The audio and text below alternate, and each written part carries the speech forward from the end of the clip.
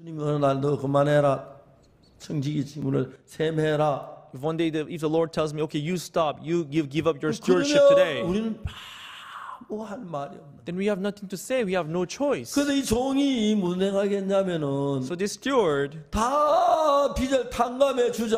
okay, let me forgive all the 그래 debtors then, 사람을 얻자. and let me gain their heart. 그 주인의 마음을 아는 거예요. So he came to discover the heart of the Lord. 우리 죄 다 갚아주고 You know, he, he would wash our sins, 탕감해주고, would forgive our sins, he would wash them. 세상적인 면으로 주인의 재산을 탕감해서 주인의 손해를 끼치는 것 같던데 You know, from secular, worldly point of view, he's causing a damage to his master, right? 그 재산을 바쳐서 사람 얻는 그 일을 기뻐하셔 주인이 칭찬했다는 거죠. The Lord is pleased of gaining people's heart by, you know, reducing the debts. 모든 것이 하나님께로부터. They are all from God. 자 이제 우리가 하나님 주신 지혜로 Now, with this wisdom from 하나님 God, 주신 몸으로 with this body which is from 하나님 주신 God, 물질로 with this money which is from 하나님 주신 God, 그 with this 사랑으로 love from 하나님 God, 그 행복으로 with this happiness from God, 이제 주님 앞에 주에 드려서 now let's give them back to the Lord. 주를 위해 쓴다면 And if you spend them for the Lord, 주님이 굉장히 기뻐하고 만족해 할 거라고 생각이 듭니다. I believe then the Lord would be pleased and satisfied. 만천하 갖고 보면 놀라운 역사가 일어나게 되길 바라고 I hope this work of the whole world receiving salvation arise in our lives. 그 일에 주인이 주신 걸 마음껏 씁시다. And let us use what is given by the 내 Lord 지혜, for this 내 work. 건강, Our wisdom, our health, 자식들 our children. 전부 다가 복음에 쓰시고 Let's use them all for the 하나님 gospel. 칭찬하는 여러분 되시기를 I hope you would 바라겠습니다. be commended through the Lord.